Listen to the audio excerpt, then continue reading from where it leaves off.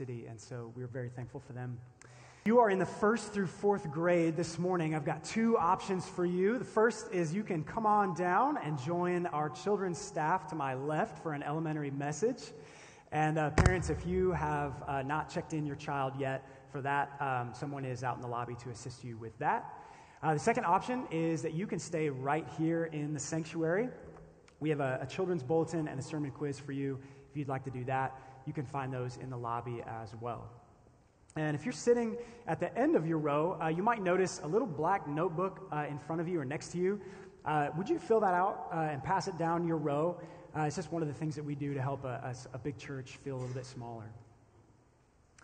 Well, I've got two key announcements for us this morning that I want to draw your attention to. Uh, the first one is that I want to invite you to a time of corporate and individual prayer this Tuesday night, January 23rd. Um, this is a time that we have set aside to pray for uh, our church, for our people, for our city. Um, we would love for you to join us. It's going to be here at CPC Central in the gathering room uh, from 6:30 to 7:30.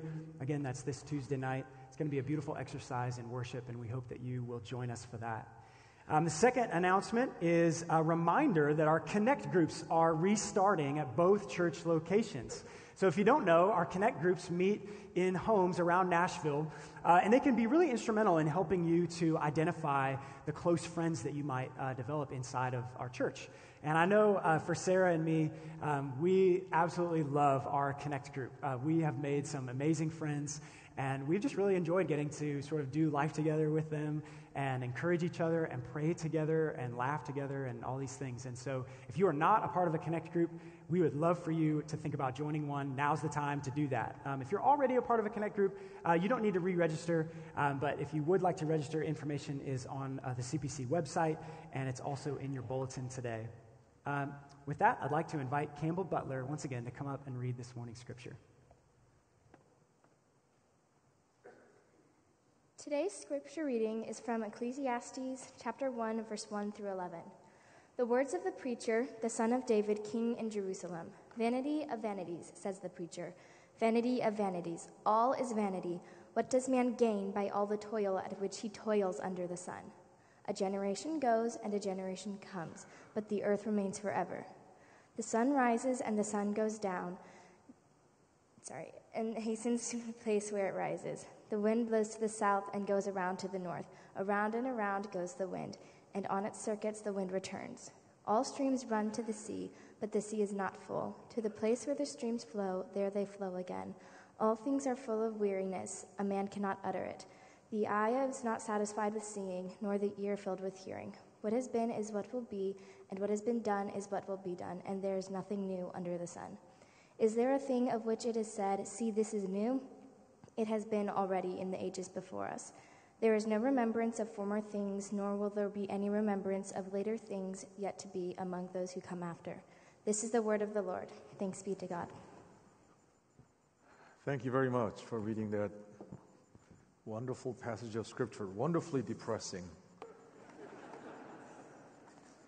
really honest about it, I think that's what it is. And I am so glad that passages such as that Books such as Ecclesiastes and also Song of Songs bring to life um, the real, hard hitting realities of life for us.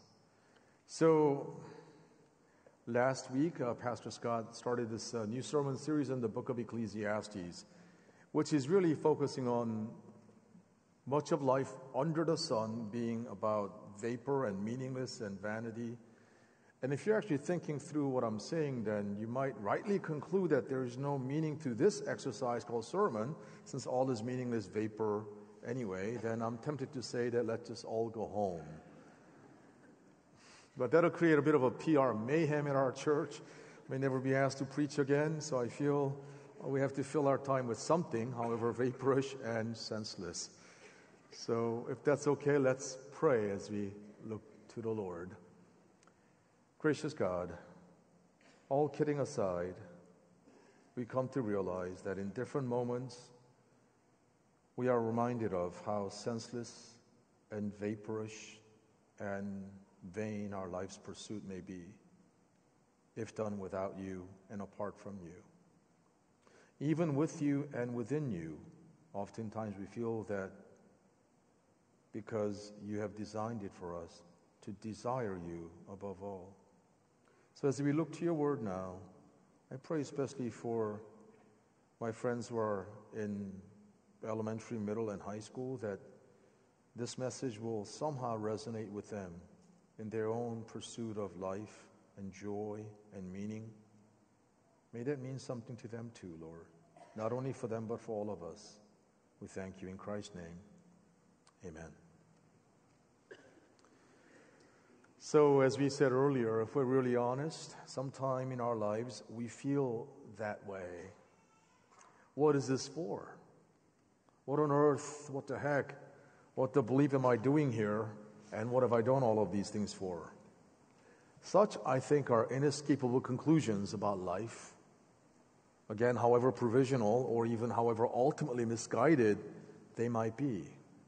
Or are they? Do you feel empty? Do you feel that, what am I doing all of these things for? What have I accomplished?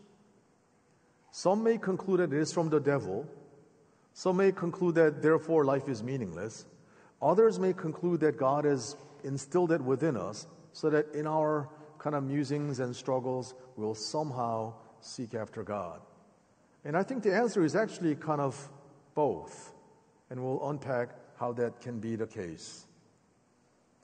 So I think it was Wednesday of this week past.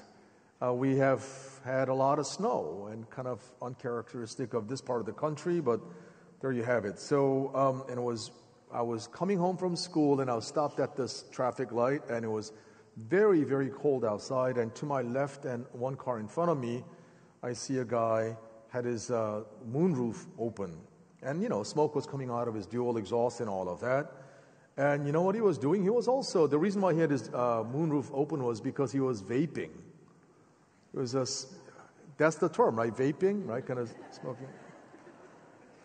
I think you know what I'm talking about. So, and it was really cool. It looked really cool. It looked like he was, there was some kind of dragon exhaling or something because the smoke was really concentrated, just came out. And I was like, whoa, what is that? And, and he kept doing that, the long line, and I was like totally mesmerized. And it never occurred to me that, it didn't occur to me I should try to do that or something like that. But I was just kind of like sitting there, wow, that's pretty interesting because I never really seen anyone like vape through his moonroof and then I'm kind of like limited in my life experience, I guess, kind of being ivory tower professor that I am, I don't know. But so as cool as that might have been, or as dragonesque as that might have looked, it disappeared into the frigid wintry air within split seconds. As we begin today's sermon, I want you to think about that. If you've seen people vape, it just kind of, it's really high concentration of smoke that comes out, and like you see it very clearly, and bam, it's gone. So, as we begin today's sermon, let's make a note of something, as uh, Pastor Scott mentioned last Sunday as well. Some of us read the NIV, which is, a, I think, a great, great translation. But uh, for official purposes here at our church, we use the English Standard Version, ESV. And the ESV renders the, ver- the word um, that is used in the NIV as meaningless as vanity. And I think that's actually closer to the, the, the word, uh, the Hebrew word hebel, that we'll look at more intensely throughout our sermon today. Um, and so, which way is it, we might ask? We want to look at this word and do a bit of a, a word study, or the nerdy word for that is a lexical study, meaning something like this. We're going to actually start in Ecclesiastes, but we're going to traverse back to Genesis chapter 3 and 4. We're going to move forward to Romans chapter 8, and then end with Hebrews chapter 12. So, in other words, we're going to kind of follow through what these words have meant throughout uh, the Bible, both in the Old Testament Hebrew Bible as well as in the New Testament. And through it all, hopefully, and that's my greatest hope, that we'll catch a glimpse of what God has in mind in giving us this kind of a, a cross shaped kind of vacuum in our hearts. And through it all, we may look to God for deep satisfaction that only God can provide. So, um, so I think that's the point. And the word that I've used there, uh, the, the, Hebrew word is hebel, okay? And um, what I would call vaping through millennia. We see this word vanity, vapor, in verse 2 five times. And the rest of the book of Ecclesiastes, the writer uses it 29 more times. So, sum total, 34 times the writer says life is vapor, meaningless, vanity, however we, we render it. So, it seems to me, does it not you, that that might be an important word for this writer. Let me kind of compare it this way. In Abraham Lincoln's famous Gettysburg Address, do you know which words were most frequently repeated? Among others, there are three words that got repeated a lot. The word we, as a sense of bringing a collective sense of national identity, President Lincoln used that term 10 times. He used the word here, denoting where he was standing at Gettysburg, Pennsylvania, in the rubble and rubble of the Civil War and the wreckage of nation divided, eight times, and used the word dedicate as a way of signifying what he was about to do, dedicating our haunted memories of the past and the hallowed ground of the present into the bright future tomorrow that he was looking for, dedicating our life, past, present, and future, into our collective consciousness. So we 10 times, here eight, eight, eight times, dedicate six times. Another very well known speech in our uh, generation or a generation ago is Dr. Martin Luther King Jr. in his I Have a Dream speech. The most frequently used words there were freedom, which was used 20 times, dream, used 11 times, justice and injustice, 10 times. So, freedom is used 20 times in I Have a Dream speech. In the Gettysburg address, we is used 10 times. So you can kind of reckon that if the word vanity or vapor or meaningless is used 34 times in our book, then we can see that it is quite important for the writer. Then the question becomes where else was it used? We will see that it is quite uh, used quite early in the Old Testament or Hebrew Bible. And to do that, let's look at Genesis chapter 4. Genesis chapter 4 comes right at the heels of the story of human fall. In Adam and Eve's rebellion against God, in their choice, exercising their free will to walk away from God, what ended up happening to them is a, there is a fallenness and darkness sets in, and mutual acrimony and blame shifting happens. And in chapter 4, we find Adam and Eve having uh, come together as a husband and wife, and they are now having children. And before that, as part of the kind of pronouncement of curse as well as pronouncement of promise and the gospel message, God said to the serpent, he is a, a, symbolism for all that which is against shalom of God. He says, You know what? I'm going to put enmity or hatred between you and the woman, and the, your seed and the seed of the woman. And what's going to happen to you is you're going to have this kind of big time hostility, and this seed of the woman is going to strike your head, and you will manage to strike his heel. So there's an enmity. But Eve understood that with the birth of this seed, meaning her child, there is going to be some resolution, a deadly blow given to the seed of the serpent. So if you were to look at Genesis chapter 4 in the first verse, it says, Adam made love to his wife Eve, and she became pregnant and gave birth to Cain, or the Hebrew is Cain. She said, With the help of the Lord, I have brought forth a man. The word Cain or Cain means acquire. That means, okay, with God's help, I've acquired this child.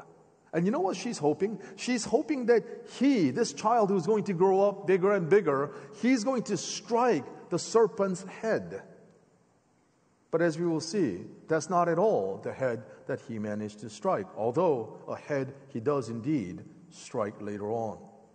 The, and then, furthermore, it says in verse 2 later she gave birth to his brother Abel. The Hebrew word there is Habel, same word that is used in Ecclesiastes 1 2. Think about that. You have two kids, and names mean something, right? And we know that. How, how do we know it? Every time a baby is baptized, what happens? Either uh, Pastor Todd Tello or Pastor David Filson would, you know, hold their babies and do what they do so well, you know, wetting this floor and all that. But more than that, they would ask, what is the child's name? And then they often explain to us the meaning of the name. So names always mean something. So Cain's name meant that, you know, with God's help, I have gotten a son. Abel means vapor. I mean, imagine that. Imagine your name is vapor.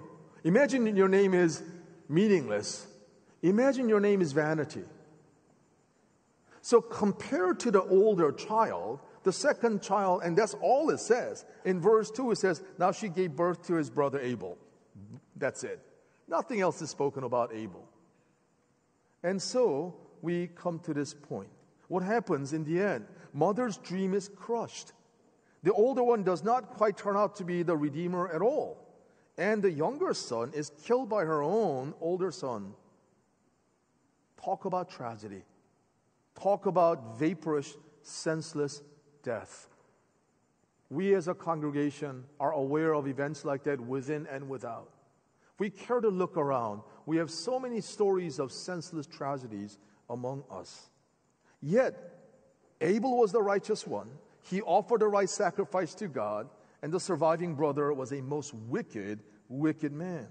So, from the very first few pages of the Jewish scripture or Christian Old Testament, we see that life looks as if at its core we find much vapor.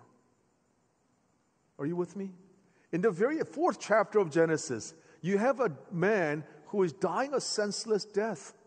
A man who was righteous, a man who was faithful, yet he does not have God coming to him and saying something. God speaks to Cain and not Abel.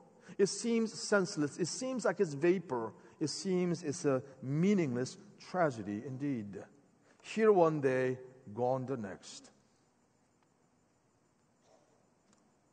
I want you to grapple with that. I want you to grapple with the fact that in the very first few pages of Scripture, that's the drama of humanity. That is the, the stuff that we find ourselves in. what's that guy's name? Young, young people help me out. Pharrell Williams, is that the guy's name? Right? He has a song called what? Happy. And I like that song because that helps me to escape from this pressing reality of life sometimes. But Scripture will not give us a rosy picture of reality. Scripture presents to us life as it is under the sun. And in the midst of all of that, in our cacophonous tragedies, and life sometimes, more often than not, don't add up and don't make sense, God shows up. A French Catholic existentialist writer named George Bernanos said something truly helpful, at least for me, and I want to quote him here. In order to be prepared to hope in what does not deceive, we must first lose hope in everything that deceives. Again, in order to be prepared to hope that in what that does not deceive, we must first lose hope in everything that deceives. Health could be deceiving. Youth, I can tell you most emphatically, as I turned 50 last year, can be deceiving and fleeting. I just remember like it was yesterday when I was 15 or 18, I was a lot stronger, a lot faster, and I'm anything but that now. Deceit of youth wealth, prosperity, fame, prominence, whatever it may be, your prowess, those things can come and go. In fact, do come and go. So then we must first lose hope in everything that deceives. So, in addition to Genesis, we, we see this word used in Romans chapter 8, except that we have to do a bit of a language transfer. So, you knew that most of the Old Testament was written in Hebrew, right? And then most of the New Testament was written in Greek. So, um, New Testament was written in Greek. So there was a thing called the Septuagint, which was a Greek translation of the Hebrew Old Testament. Okay? So stay with me, please. In Genesis 3 and Romans 8, we see a connection that has to do with the fall and the consequence of human fallenness or our rebellion against God. What do I mean by that? In Romans 8:20, the apostle Paul writes, "For the creation was subjected to futility, not willingly, but because of him who subjected it. The word here for futility that is used is mataiotes, That means vanity or emptiness or futility or vapor. Guess what? When these um, writers, uh, interpreters, did the translation work of the Hebrew Bible into the Greek, the word that they use to translate Ecclesiastes 1 2, vanity or vapor or meaninglessness is the same word, mataiotes. That means this that as the writer, Kohelet or Solomon, whoever that may have been, is grappling with the meaningless or purposelessness or vanity or vapor esque life of ours, the writer, the Apostle Paul, uses that same word and same concept to th- express to us that there is a fallenness in our creation, that even though our nature seems to be working so well and covering our ground with the snow, but that same snow could cause havoc in terms of avalanche taking away lives. The beautiful rain that you may see and experiencing among us could easily become a hurricane taking away lives. That's why the writer of, Romans, the Apostle Paul says, creation has been subjected to futility or frustration or vapor esque because there's something that has gone awry or terribly wrong, tragically wrong with our cosmos because of our human rebellion. So, as a result of all, all of creation is subjected to vanity, futility. No matter how hard I work, instead of great harvest, the Lord said to Adam in Genesis 3:17, "Cursed is the ground because of you, and thorns and thistles it shall bring forth for you." Let me ask you a question: For which country is thistle their national flower? Somebody said it right. What is it? Scotland. That's right, Scotland. So my wife and I lived in England for four years when we did our when I did my graduate studies. But you know, there's something about this, the Scottish history. You know, the, the movie um, with uh, William about William Wallace, uh, Braveheart, and you know, being uh, I was born in Korea, grew up here, but so there's being Korean and being Scot. There's a lot of connection because Scottish history is kind of inseparable from English history. And it seems to me, as I got to learn some of my, got to know some of my Scottish friends after I got to figure out their accent, first of all, that, you know what? Their story is a lot of repeated invasion and struggle for independent, you know, autonomy and, and identity. Even more recently, there had kind of this whole thing about uh, Scottish kind of going um, independent, and it didn't quite happen, and it's all back and forth, back and forth. You know, I mean, think about thistle being your national flower. To me, that's really emblematic of Scottish history. I mean, there's a lot that deep pathos that resonates with me. And in some ways, that thistle could be this emblematic, kind of cosmic flower for all of humanity. Because God says, thorns and thistles it'll produce for you instead of bountiful harvest all the time. So this word mataiotes shows up here in 1 2 of Ecclesiastes. It says ta panta mataiotes, meaning all is vanity, all is frustration, all is vapor, all is meaningless. Just as creation itself has become vaporized unless someone else reorients it or redeems and recalibrates it, our life's journey will always be vaporish and vapid unless someone else redeems it. That's why the writer again uses this expression a lot life under the sun he uses that expression a number of times to show that under the sun means life lived apart from this joyful kind of relationship with God. So let's look at the rest of the chapter here. Whatever the writer, what the writer is trying to do is to show that compared to nature, which is already showing signs of vanity, futility, and vapor, human life is even more an exercise in futility and vanity, thus becoming vapor. Look at verse 4 of our text. It says, Generation comes, generations go, but the earth remains forever. That means, compared to human generations, there's something solid and stable and per- semi permanent about earth or created order. Earth remains. And look at verse 5. It says, The sun comes, and then sun sets and hurries back to where it rises. Sun and wind and earth and sea, these are far more permanent than human generations that are here today and bam, gone the next day. Verse 9, it talks about this very interesting circularity of human story. Here, where it says, What has been will be again, and what has been done will be done again. There's nothing new under the sun. What is seemingly new has already been. Today's hot item was already deemed cold yesterday. So I think a lot of us are kind of excited about not all, but you know, a lot of us are excited about the football and NFL kind of playoff series right now. And I'm from Philadelphia. Our son was born in Boston, so excited that the Eagles and Patriots are still in, and it could be Eagles Patriots Super Bowl. But I was talking to our son Christian, and he's He likes uh, football and he likes watching it. He, play, likes playing it on Xbox. And I was asking him about this player that I used to like a lot. So, people under age 15, do you know this guy named Jeremy Shockey? Do you know Jeremy Shockey? Have you heard of him?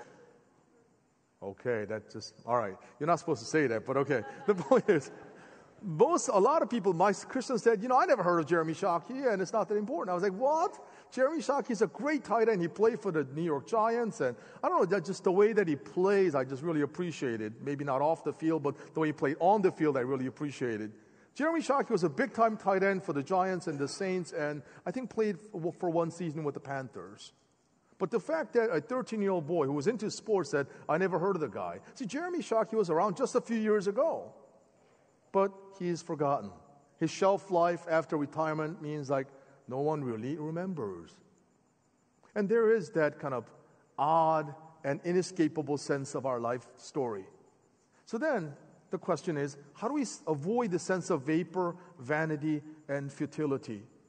Some have turned to God, others have turned, turned to rock climbing, others have turned to working harder, others have turned to working out harder, others have turned to sex, others have turned to just erasing the memories of God, and whatever else that may be our pleasure or the choice of avoidance of vanity and futility.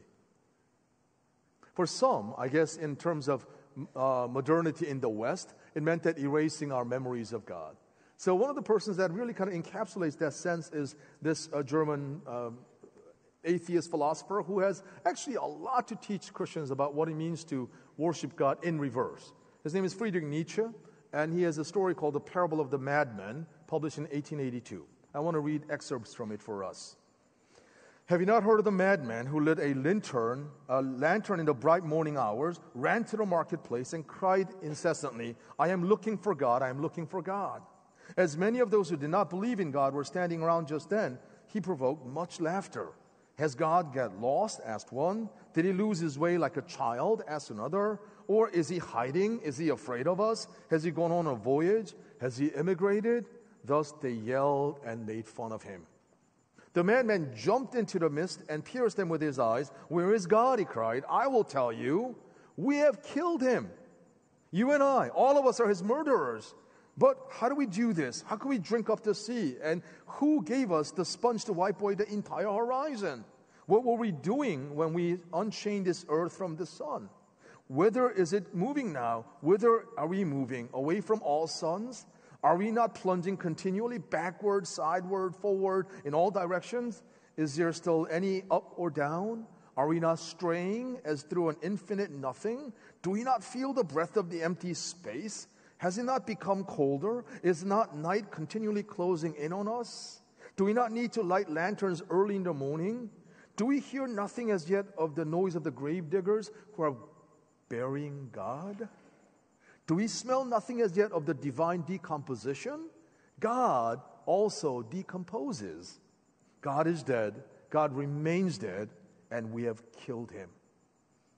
Is not the greatness of this deed too great for us? So must we not become ourselves gods simply to appear worthy of it? It has been related further that on the same day, this madman forced his way into several churches and there struck up his Rest in Peace, God song. Let out and called into account, he said to have replied nothing but, What are these churches, after all, if they're not the tombs and sepulchres of God? As you travel throughout Europe in many places, many of these old churches are no longer churches of vibrant worship. They may be museums, they may be restaurants, they may be discotheques, they may turn into other places of worship. So it seems to me that we know what that is like. So some have opted to just find meaning apart from God. But I'm assuming that since you're here in this sanctuary, you have your pursuit of meaning, your pursuit of avoiding vapor and vanity has something to do with God. So I want to explain that and lead us to the final point. So, as to the final point, I'd like you to consider the one whose life was, in some crucial sense, a vapor, a vanity, and futility. I'm thinking of the one who cried out, My God, my God, why have you forsaken me? In his most desperate moment of his life journey, some of his closest friends Friends that he had for three years, and they lived together, slept in the same place, ate together, worked together for three years. Of the 12, one sold him for 30 pieces of silver, and the other 10 had run away, and only one was remaining. Think of your life and relational failure, if you want to put it that way. All must have seemed like vapor or, va- or futility or complete, complete vanity. Senseless indeed. And I want you to think about this, Jesus. Because in Hebrews chapter 12, 24, the writer is talking about this new covenant that God establishes through Jesus and what this Jewish man, Jesus, accomplished in the name of Yahweh, and how that might be the pointer to a new understanding of God and God's mission in this world. Jesus died on the cross, and when he died, his life did seem like it was vapor that was here one day and gone the next, exercise in futility and vanity. But what the writer says in 1224 is, let us come to Jesus, the mediator of a new covenant, and to the sprinkled blood that speaks better than the blood of who? Abel. Did you hear that? So the writer is saying, look, we are aware of the fact that there's a lot of senseless tragedy that happens. The first senseless tragedy that happened is this guy Abel, who died in the hands of his own brother when he was trying to follow God and love God. And that blood of Abel speaks vengeance and justice. And you know what said? The writer says, you know what? The blood of Jesus speaks better word than that because Jesus says, Vengeance is mine because I'm going to be the one who's going to embrace the lost lot of all of humanity. I'm going to be judged in your place. In other words, what this means is this the good news, according to Jesus, does not say, try harder and then you'll see the purpose of it all. Nor does it say, it's all stupid and jacked up and that's all it is. Life is stupid and messed up. No, the gospel according to Jesus and the God of Israel says, try harder and you might find some things fulfilling, but that won't be all. Did you hear that? So the gospel is saying something like this okay, you can try your best and you can find fulfillment, but you will realize there's always something missing. Because these missing points are pointers to the ultimate source of joy and provider of that meaning and the impossible laughter. You see, you'll still feel that vapor inside you, and vanity and futility will inevitably creep in. Yes, it is stupid and jacked up if you believe that that's all it was ever meant to be. That life as you know it under the sun is just that I gotta have bigger toy, better toy, better education, better job, better home, better zip code, better whatever, and then I can say, I got it better than you. No, no, no, no, no. That's not what it is. But the gospel of Jesus says is that I embrace futility, I embrace vapor. Indeed, I became vaporized in your place so that you won't have to find that in the end of your life's merry-go-round that it's not at all as Rolling Stones and they used to sing and perhaps continues to sing, I can't get no satisfaction. Knowing Jesus, being known by Jesus, is one way to move concretely toward tackling the inevitable sense of futility in our life whatever you might say. I want to finish with a story. So, about 26 years ago, um, I got to go with the senior pastor that I was serving in Cherry Hill, New Jersey, to Kenya, East Africa. And I was so excited, and I was young seminarian, and uh, so I was, you know, just enthused to do God's work there. And the missionary that we were working took us to the, the right at the foothills of the the Kilimanjaro mountain, Mount Kilimanjaro, and just one, one of the most spectacular scenes of life that I've ever seen. And I was, you know, this missionary introduced us to the Maasai chief, and he was introducing me, and he said, you know, and this is kind of one of those kind of poignant moments in my life of turning around. He introduced me as, oh, this is uh, Pastor Lim from America, and, and he said, um, this, uh, he went to Yale University. And you know what the Maasai chief said through translator? He said, I never heard of Yale. I don't really care. But what I want to know is does he love Jesus? You know, there have been several turning points in my life journey, and that was definitely one of them. Because for whatever reason, this missionary thought, like, okay, if I want to emphasize something about this guy, I want to tell him that this guy went to Yale. For this Maasai chief, because he was kind of being introduced to Christianity. He says, No, wait a minute. If you're a missionary, if you're telling me what is really, really important, shouldn't it be whether this guy loves Jesus or not, whether he went to whatever school it may be? And he goes, I don't, I never heard of that school. Doesn't matter to me. But does he love Jesus? Does he know that Jesus loves him? And I want to really kind of stop right there.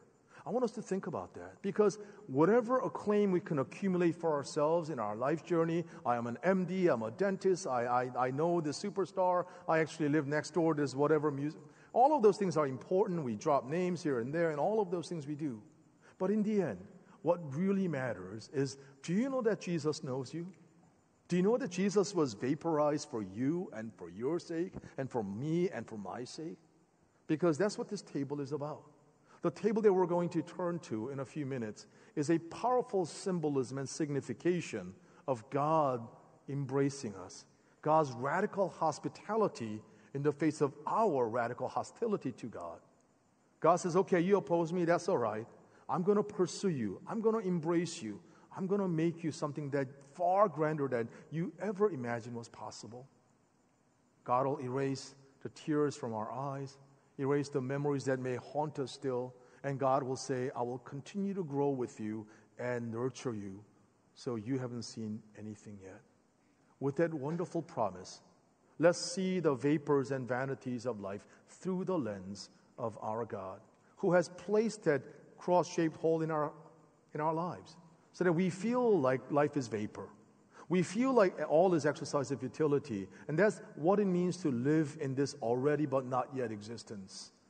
But at the same time, these experiences, I pray, will be pointers to something bigger and something deeper that is the perennial and persisting presence of God.